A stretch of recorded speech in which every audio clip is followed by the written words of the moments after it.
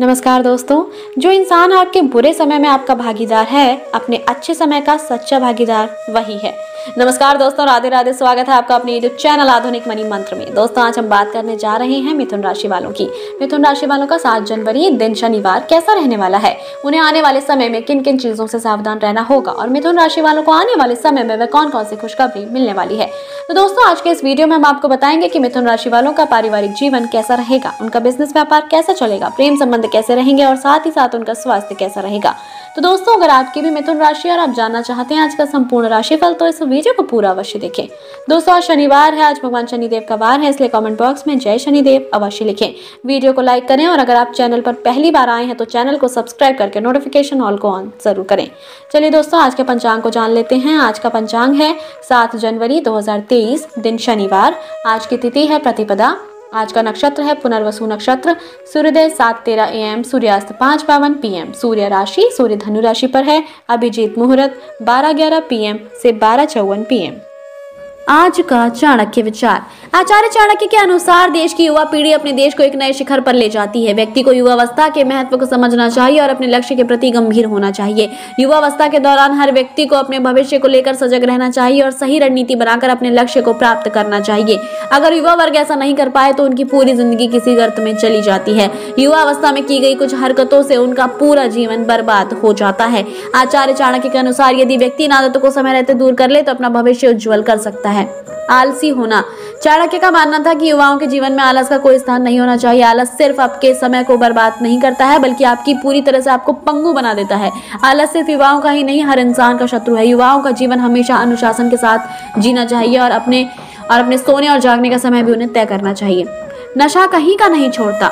नशा करने की आदत भी युवाओं के लिए अभिशाप है। नशे से आर्थिक हानि तो होती ही है। साथ ही व्यक्ति शारीरिक और मानसिक दोनों तरह से कमज़ोर हो जाता है। नशा अच्छे खासे इंसान को बर्बाद कर देता है। इस वजह से इंसान अपना सब कुछ खो देता है। ऐसा व्यक्ति अपने वर्तमान को तो खराब करता ही है, साथ ही भविष्य को भी खराब कर लेता है।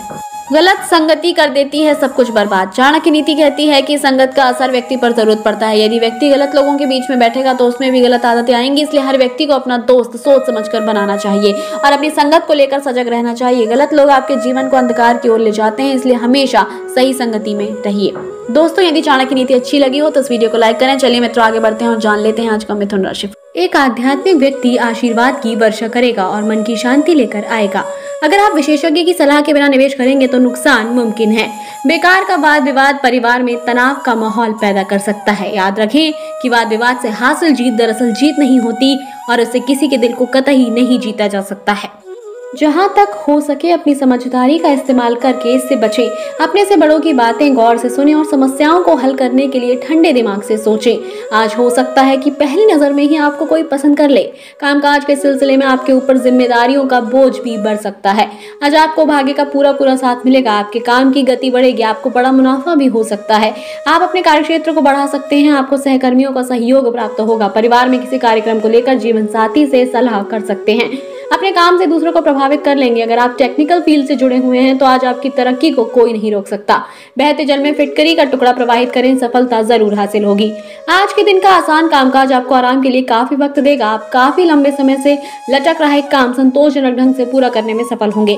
इससे आपके अफसर भी आपसे प्रभावित होंगे। अतिरिक्त आय के लिए अपने सृजनात्मक विचारों का सहारा ले। माता का स्वास्थ्य खराब हो सकता है। ज़मीन, वाहन वगैरह की खरीदारी के दस्तावेज़ बनवाने में सावधानी रखें। आज का दिन ऐसी चीज़ों को खरीदने के लिए बढ़िया है जिनकी कीमत आगे चलकर बढ़ सकती है। अपने मेहमानों से खराब बर्ताव ना करें। आपका ऐसा व्यवहार न केवल आपके परिवार को दुखी कर सकता है, बल्कि संबंधों में दूरी भी पैदा कर सकता है। अपने प्रिय की गैर मौजूदगी में आप खुद को बिल्कुल खाली महसूस करेंगे। मुश्किल मामलों से बचने के लिए आपको अपने संपर्क उपयोग करने की ज़रूरत है। यात्रा करना फ़ायदेमंद, लेकिन महँगा साबित होगा। आपके जीवन साथी के कामकाज को लेकर व्यस्तता आपकी उदासी का कारण बन सकती है। आज अपने कार्यों की गति पर ध्यान देने की ज़रूरत है। पेंडिंग काम को पूरा करने में ही आपकी भलाई है। सीनियर से किसी प्रोजेक्ट को लेकर बहस की स्थिति बन सकती है। आज आपका हँसी मज़ाक आप पर ही भारी पड़ सकता है। बिज़नेस में आपको अपने पार्टनर के साथ तालमेल बनाकर चलना चाहिए। पैसों के मामले में पार्टनर से ज़रूर सलाह ले लें। जीवन साथी के साथ बाहर खाने का प्लान बना सकते हैं। बच्चों को भी अपने साथ ले जा सकते हैं। आज मंदिर में मूंग की दाल दान करें, आपके साथ सब अच्छा होगा। आज आपके व्यवसाय में थोड़ी बाधाएँ आएँगी। सहकर्मियों का सहयोग नहीं मिलेगा। संतान की चिंता रहेगी। कोई आध्यात्मिक गुरु या बड़ा आपकी सहायता कर सकता है।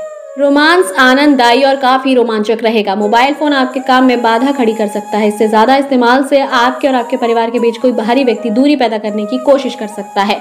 उससे सावधान रहें।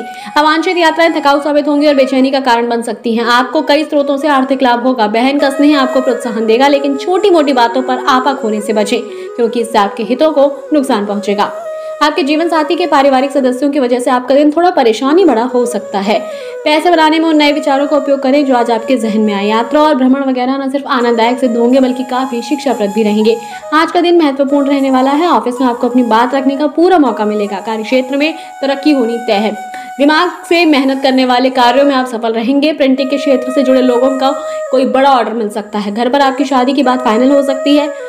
पैसों के मामलों में आपकी स्थिति मज़बूत होगी, उधार दिया हुआ पैसा वापस मिल सकता है, तुलसी के पौधे में जल चढ़ाए, मानसिक रूप से आप फिट रहेंगे। आज आपको कमीशन लाभांश या रॉयल्टी के ज़रिए फ़ायदा होगा। आपके बच्चे, पुरस्कार, वितरण समारोह का बुलावा जो होगा, वो आपके लिए खुशनुमा एहसास होगा। कामकाज के मामले में आज आपकी आवाज़ पूरी तरह सुनी जाएगी। आपकी दयालु प्रवृत्ति आपको सम्मान दिलाएगी। आप में ईमानदारी का गुण सदैव रहता है, यह आपके सम्मान को बढ़ाएगा। नौकरी पहले की तरह सामान्य रूप से चलती हुई रहेगी। आज आप काफ़ी पैसे भी बना सकते हैं, लेकिन इसे अपने हाथों से ना फिसलने दें। जीवन साथी आपका ख्याल रखेगा। आपके जीवन साथी के पारिवारिक सदस्यों की वजह से आपका दिन थोड़ा परेशानी भरा हो सकता है। आपके लिए आज बहुत सक्रिय और लोगों से मिलजुल भरा दिन रहेगा। लोग आपसे आपकी राय भी मांगेंगे। जो भी आप कहेंगे उसे बिना सोचे वो मान लेंगे। लंबे वक्त से लटकी हुई दिक्कतों को जल्द ही हल करने की ज़रूरत है और आप जानते हैं कि आपको कहीं ना कहीं से शुरुआत करनी होगी। इसलिए सकारात्मक सोचें और आज से ही प्रयास शुरू करें।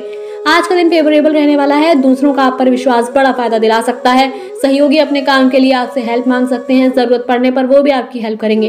पार्टनर के साथ कहीं घूमने का प्लान बना सकते हैं। मेडिकल की पढ़ाई कर रहे स्टूडेंट्स को अच्छी जगह इंटर्नशिप मिल सकती है। स्वास्थ्य के लिहाज से आज का दिन ठीक ठाक रहेगा। जरूरतमंद को भोजन कराएँ, दूसरों से मदद मिलती रहेगी। नई परियोजनाएँ शुरू करने के लिए आज सही समय है। नौकरी पेशा और बिज़नेस करने वालों को आज जोखिम और जल्दबाजी से बचना होगा। आज चाहे तो परेशानियों को मुस्कुरा कर दरकिनार कर सकते हैं। या उनमें फंस कर परेशान हो सकते हैं। चुनाव आपको करना है।